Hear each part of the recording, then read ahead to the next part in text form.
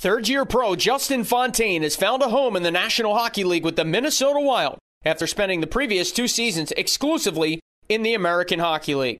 A Bonnyville, Alberta native, Fontaine registered five points in his first 16 games with Minnesota, including his first career NHL goal on October 12th against Dallas. Something the Wild have to keep an eye on. A turnover, quick centers, they score!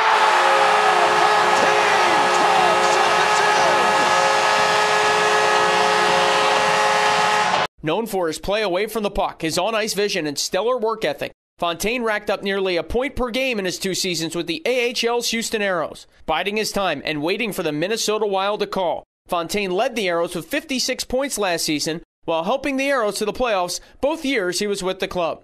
Justin Fontaine's hard work paid off, and it has resulted in a regular role with the big club thus far in 2013 2014. The Iowa Laborers Education and Training Fund and LIUNA are proud sponsors of the Iowa Wild. Since 1915, they've been an integral part of the local community, helping build central Iowa and spending countless hours giving back to the greater Des Moines area. If you're looking for a solid career opportunity in the construction industry, then text Feel the Power to 99000. Text Feel the Power to 99000.